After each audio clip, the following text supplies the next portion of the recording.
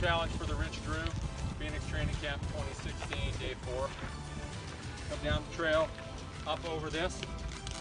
You got this super off camber rock you got to hit with a little bit of speed so you don't wash downhill, and you got to get around this guy. Once you make the turn,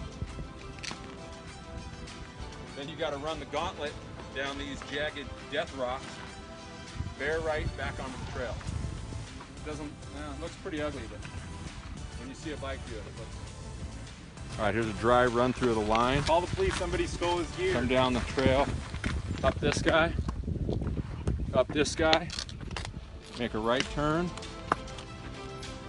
down here, to the right, back onto the trail. What do you think, Rich?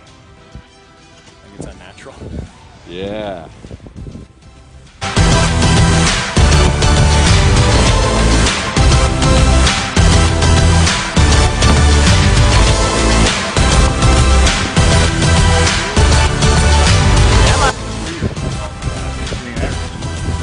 Gnarly. My heart's still beating really fast.